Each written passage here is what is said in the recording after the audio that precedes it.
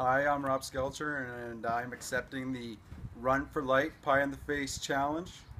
I'm going to nominate my wife, Lori Skelcher, uh, Dan LeGraley, John Kirk, and Wes Emmett. And here's my $10 uh, donation for the cause. All right, let's do this. Oh yeah! Oh man, woo! That was good.